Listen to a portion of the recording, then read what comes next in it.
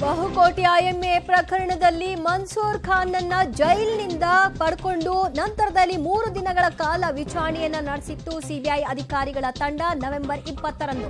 ಅದಾದ ಬಳಿಕ ಈಗ ರೋಷನ್ ಬೇಗ್ ಅವರನ್ನ ವಶಕ್ಕೆ ಪಡೆದು ವಿಚಾರಣೆಯನ್ನ ನಡೆಸ್ತಾ ಇದೆ. ಹೀಗಾಗಿ ಸಿಬಿಐ ಅಧಿಕಾರಿಗಳ ನಡೆ ಬಹಳ ಕುತೂಹಲವನ್ನ ಮೂಡಿಸ್ತಾ ಇದೆ. ಮನ್ಸೂರ್ ಖಾನ್ಗೆ ಫುಲ್ ಡ್ರಿಲ್ ಮಾಡಿ ಮೂರು ದಿನಗಳ ಅವಧಿಯಲ್ಲಿ ಏನೆಲ್ಲ ಮಾಹಿತಿಗಳನ್ನ ಪಡೆದುಕೊಂಡಿದ್ರು, ಅದರ ಆಧಾರದ ಮೇಲೆ ಈಗ ರೋಷನ್ ಬೇಗ್ ಅವರ ಡ್ರಿಲ್ ನಡೀತಾ ಇದೆ ನವೆಂಬರ್ ಇಪ್ಪತ್ತರಂದು ಮೂರು ದಿನ ಕಸ್ಟಡಿಗೆ ಪಡೆದು ಮನ್ಸೂರ್ ಖಾನ್ ಅನ್ನ ವಿಚಾರಣೆಯನ್ನ ನಡೆಸಿತ್ತು ಸಿಬಿಐ ಅಧಿಕಾರಿಗಳ ತಂಡ. ಅದಾದ ಬೆನ್ನಲ್ಲೇ ಈಗ ರೋಷನ್ ಬೇಗ್ ಅವರ ವಿಚಾರಣೆಯನ್ನ ನಡೆಸ್ತಾ ಇರೋದು ಮುಂದೇನು ಅನ್ನುವಂತಹ ಪ್ರಶ್ನೆ ಮೂಡಿಸ್ತಾ ಇದೆ. ಪರಪ್ಪನ ಅಗ್ರಹಾರ ಜೈಲಿನಲ್ಲಿದ್ದ ಮನ್ಸೂರ್ ಖಾನ್ ಅನ್ನ ನವೆಂಬರ್ ಇಪ್ಪತ್ತರಂದು ಮೂರು ದಿನಗಳ ಕಾಲ ವಿಚಾರಣೆಯನ್ನ ಮಾಡಿತ್ತು ಸಿಬಿಐ ಅಧಿಕಾರಿಗಳ ತಂಡ. ಮತ್ತಷ್ಟು ಮಾಹಿತಿಯನ್ನ ಪಡೆಯೋಣ. ನಮ್ಮ ಪ್ರತಿನಿಧಿ ನಾಗೇಶ್ರಿಂದ. ನಾಗೇಶ್, ಮನ್ಸೂರ್ ಖಾನ್ ಅನ್ನ ಮೂರು ದಿನಗಳ ಕಾಲ ವಶಕ್ಕೆ ಪಡೆದು ವಿಚಾರಣೆ ನಡೆಸಿದ ಬೆನ್ನಲ್ಲೇ ಈಗ ರೋಷನ್ ಬೇಗ್ ಅವರನ್ನ ವಿಚಾರಣೆ ನಡೆಸ್ತಾ ಇರೋದ್ರಿಂದಾಗಿ ಮನ್ಸೂರ್ ಖಾನ್ಗೆ ಕೇಳಿದಂತಹ ಪ್ರಶ್ನೆಯನ್ನೇ ಆತನಿಂದ ಬಂದಂತಹ ಉತ್ತರವನ್ನು ಇಟ್ಕೊಂಡು ಈಗ ರೋಷನ್ ಬೇಗ್ ಅವರ ಡ್ರಿಲ್ ಮಾಡ್ತಾ ಇದ್ದಾರಾ? ಹೇಗೆ?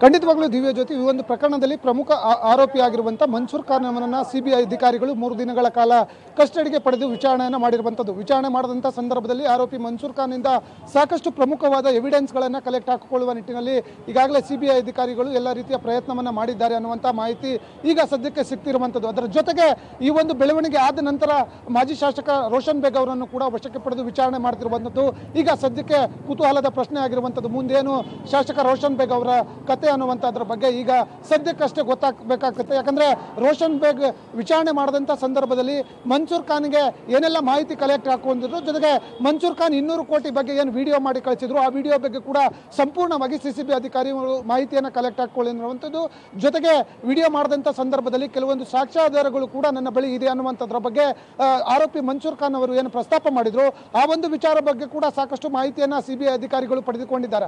ಅದರ ಬೆನ್ನಲ್ಲೇ ಈಗ ಮಾಜಿ ಶಾಸಕ ರೋಷನ್ ಬೇಗ್ ಅವರ ವಿಚಾರಣೆಗೆ ಸಿ ಸಿಸಿಬಿ ಅಧಿಕಾರಿ ಸಿಬಿಐ ಅಧಿಕಾರಿಗಳು ಬೆಳಗಿಂದಲೂ ಕೂಡ ಈಗ ವಿಚಾರಣೆಯನ್ನ ಮಾಡ್ತಿರುವಂತದ್ದು ಆ, ದಿವ್ಯ ಜ್ಯೋತಿ ಮನ್ಸೂರ್ ಖಾನ್ ಈ ವಿಚಾರಣೆ ಸಂದರ್ಭದಲ್ಲಿ ನಾನೇನು ಇನ್ನೂರು ಕೋಟಿ ಹಣವನ್ನ ರೋಷನ್ ಬೇಗ್ಗೆ ಕೊಟ್ಟಿದ್ದೀನಿ, ಅದನ್ನ ರಿಕವರಿ ಮಾಡಿಕೊಡಿ, ಇಲ್ಲದಿದ್ರೆ ನಿಮ್ಮ ವಿರುದ್ಧ ದೂರನ್ನ ಕೊಡ್ತೀನಿ ಅಂತ ಹೇಳಿದ್ರಿಂದ ಈಗ ಸಿಬಿಐ ಅಧಿಕಾರಿಗಳಿರುವಂತಹ ಸವಾಲು ಏನು?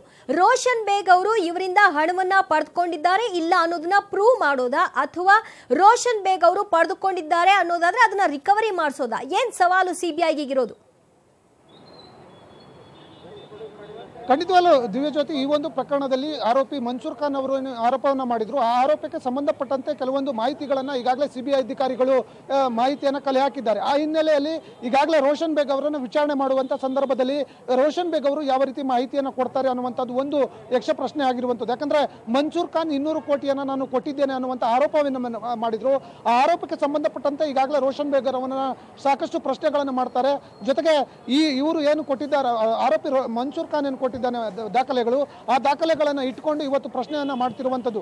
ಆ ಒಂದು ಕಾರಣಕ್ಕಾಗಿ ಆ ದಾಖಲೆಗೆ ಸಂಬಂಧಪಟ್ಟಂತೆ ರೋಷನ್ ಬೇಗ್ ಸರಿಯಾದ ಮಾಹಿತಿಯನ್ನು ಕೊಡದ ಹೋದಲ್ಲಿ ಆ ಒಂದು ಹಣವನ್ನು ಜೊತೆಗೆ ರಿಕವರಿಯನ್ನು ಮಾಡ್ತಾರೆ. ಯಾಕಂದರೆ ಈ ಒಂದು ಪ್ರಕರಣದಲ್ಲಿ ಅವರು ಅವರು ಹಣವನ್ನು ಪಡೆದುಕೊಂಡಿದ್ದಾರೆ ಅನ್ನುವಂಥದ್ದು ಕನ್ಫರ್ಮ್ ಆಗ್ತಾ ಹೋದಂಥ ಸಂದರ್ಭದಲ್ಲಿ ಆ ಕಿಕ್ ಬ್ಯಾಕ್ ಅನ್ನು ಏನು ಪಡೆದುಕೊಂಡಿದ್ರು? ಆ ಒಂದು ಹಣವನ್ನು ಸಂಪೂರ್ಣವಾಗಿ ರಿಕವರಿಯನ್ನು ಮಾಡ್ತಾರೆ. ಜೊತೆಗೆ ಆ ಒಂದು ಪ್ರಕರಣದಲ್ಲಿ ಇವರು ಹಣವನ್ನು ಪಡೆದುಕೊಂಡಿದ್ದಾರೆ ಅನ್ನುವಂಥದ್ದು ದೃಢವಾದರೆ ಕನ್ಫರ್ಮ್ ಆಗಿ ರೋಷನ್ ಬೇಗ್ ಅವರನ್ನು ಬಂಧನವನ್ನು ಮಾಡ್ತಾರೆ ಅನ್ನುವಂಥದ್ದು. ಈಗ ಸದ್ಯಕ್ಕೆ ಇರುವಂತಹ ಪ್ರಶ್ನೆ ಆ, ದಿವ್ಯ ಜ್ಯೋತಿ.